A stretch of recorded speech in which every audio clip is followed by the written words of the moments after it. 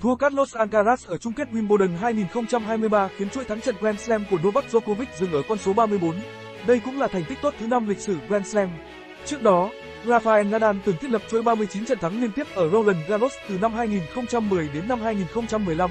Trong khi đó, Roger Federer là người duy nhất có hai chuỗi thắng 40 trận ở hai Grand Slam khác nhau trên hai mặt sân tại Mỹ mở rộng từ năm 2004 đến năm 2009 và Wimbledon từ năm 2003 đến năm 2008.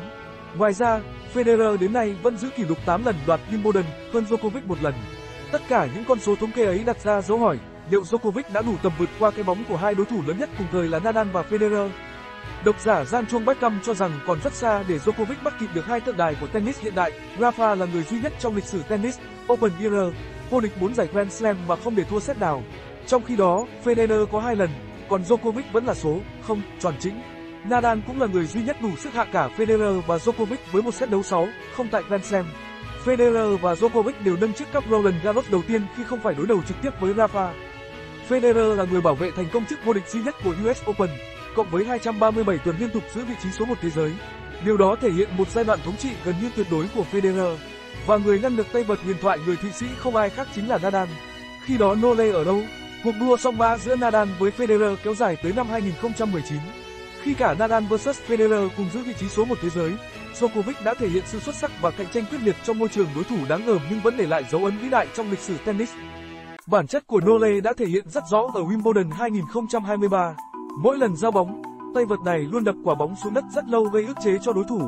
Thậm chí còn dùng tiểu xảo, không chịu giao bóng khi khán giả chưa trật tự. Không phủ nhận Djokovic là một tài năng hiếm có, nhưng anh cũng là một bậc thầy chiêu trò.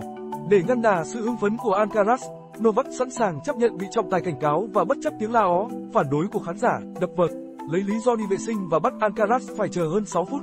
Đây không phải là lần đầu tiên Nole sử dụng chiêu này khi vừa khiến đối thủ khó chịu, vừa có thêm thời gian tĩnh tâm, hồi phục thể lực.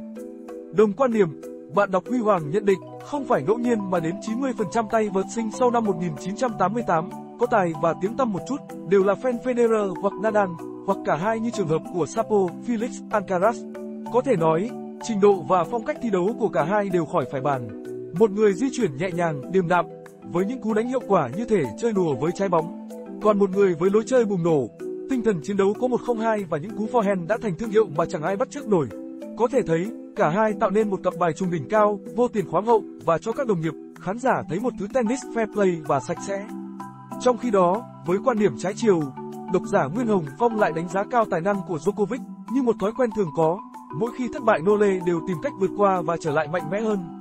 Không đơn giản khi Djokovic đối diện với nhiều tay vợt xuất sắc khác, nhưng anh luôn biết cách thích ứng và chiến thắng. Điều đó làm nên sức hấp dẫn đặc biệt của anh trong làng tennis.